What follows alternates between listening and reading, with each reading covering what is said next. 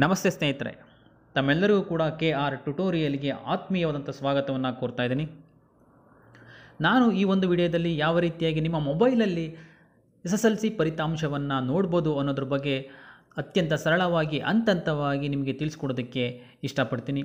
ಅದಕ್ಕಿಂತ ಮುಂಚೆ ಯಾರು ನನ್ನ ಚಾನಲನ್ನು ಇನ್ನೂ ಸಬ್ಸ್ಕ್ರೈಬ್ ಆಗಿಲ್ಲ, ನನ್ನ ಚಾನಲನ್ನು ಸಬ್ಸ್ಕ್ರೈಬ್ ಆಗಿ ಹಾಗೆ ನಾನು ಮಾಡುವಂಥ ಪ್ರತಿ ವಿಡಿಯೋಗಳು ಅಂದರೆ ಇಂಗ್ಲೀಷ್ ಗ್ರಾಮರ್ ಆಗಿರಲಿ, ಅದೇ ರೀತಿಯಾಗಿ C E T T E T P S I F D ಎಗೆ ಸಂಬಂಧಪಟ್ಟಂಥ ಕ್ವಶನ್ ಪೇಪರ್ ಅನಾಲಿಸಿಸ್ ಆಗಿರಲಿ, ಹಾಗೆ ಅನೇಕ ರೀತಿಯಂಥ ಕರೆಂಟ್ ಇವೆಂಟ್ಸ್ ಆಗಿರಲಿ, ಈ ಒಂದು ಚಾನಲ್ ಮುಖಾಂತರವಾಗಿ ಅಪ್ಡೇಟ್ ಮಾಡ್ತಾ ಇರ್ತೀನಿ.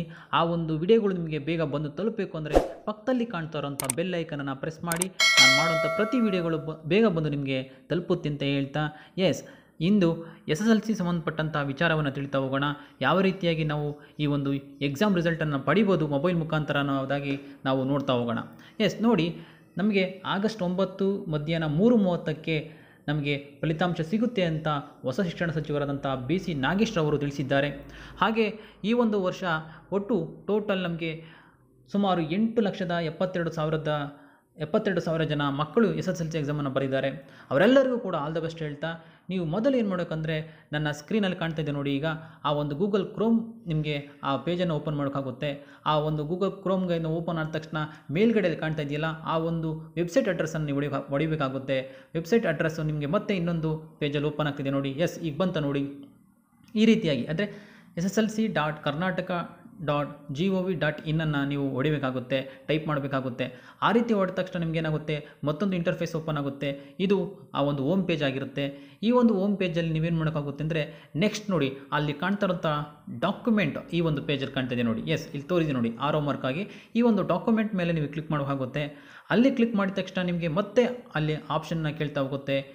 ಎಸ್ ಎಸ್ ಎಲ್ ಸಿ ಇತರ ಪರೀಕ್ಷೆಗಳು ಅಂತ ಇದೆ ನೋಡಿ, ಅಲ್ಲಿ ಆ ಥರ ಕೇಳ್ತಾ ಹೋಗುತ್ತೆ.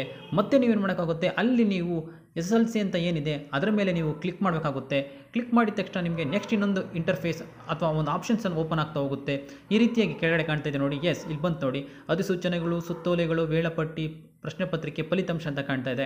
ಆ ಫಲಿತಾಂಶವನ್ನು ಕ್ಲಿಕ್ ಮಾಡಿದ ತಕ್ಷಣ ನಿಮಗೆ ಇನ್ನೊಂದು ಫಲಿತಾಂಶದ ಒಂದು ಪೇಜ್ ಓಪನ್ ಆಗುತ್ತೆ.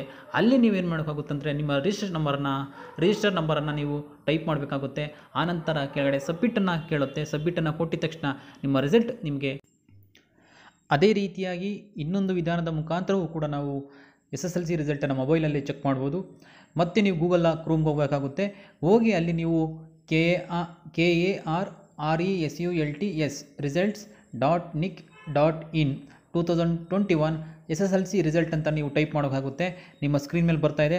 ಆ ರೀತಿ ಟೈಪ್ ಮಾಡಿದ್ರೆ ಏನಾಗುತ್ತೆ ಅಂದರೆ ನಿಮ್ಗೆ ಇನ್ನೊಂದು ಇಂಟರ್ಫೇಸ್ ಓಪನ್ ಆಗುತ್ತೆ, ಇನ್ನೊಂದು ಪೇಜ್ ಓಪನ್ ಆಗುತ್ತೆ.